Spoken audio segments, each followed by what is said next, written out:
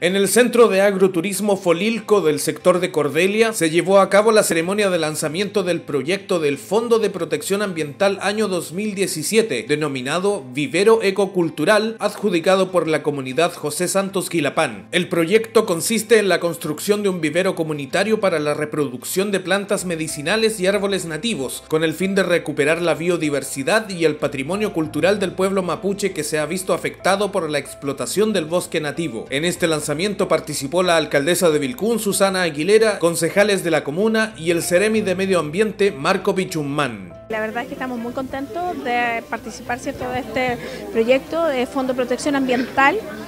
que nos permite ir en rescate también de toda esta actividad cultural que tienen las comunidades, eh, un proyecto familiar donde van a participar los niños, donde se van a rescatar las plantas que son tradicionales del pueblo mapuche, pero también las medicinales y por lo tanto logramos abordar aquello que nos interesa mucho, que es ir en el rescate cultural de todas las tradiciones del pueblo mapuche. Y si lo hacemos cierto en el contexto de un proyecto además de ecoturismo, aquí en el sector Cordelia tenemos emprendimientos turísticos importantes, entonces todo va complementando. Eh, esta es una de las zonas donde está rodeada de forestales y este pulmoncito verde que se va a significar si este, este vivero de plantas eh, nativas y de plantas también medicinales, ornamentales, va a venir a oxigenar eh, cierto todo este problema que, también tenemos de, los, de, la degradación de los suelos, de que eh, tanto pino va secando. Y entonces tenemos que ir incentivando eh, esta plantación del bosque nativo que es tan importante para la comuna de Vilcún toda vez que quiere crecer hacia el turismo. Hemos venido aquí a la comunidad José Santos Quilapán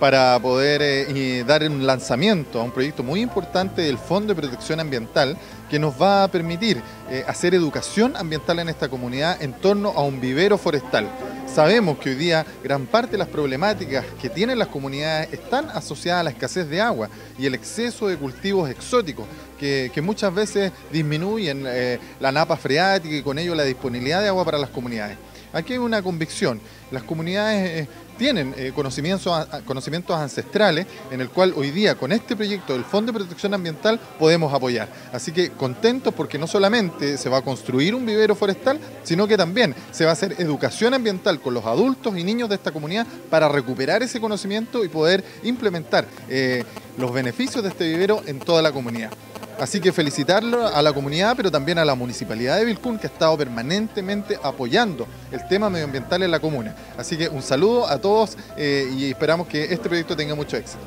Yo me siento muy bien eh, conocer a ustedes apoyando por este proyecto que hemos hecho hoy día y para el futuro, para los hijos, como les dije antes, espero que no lo dejen solo, que sigamos adelante por este proyecto, salir adelante una vez en cuando.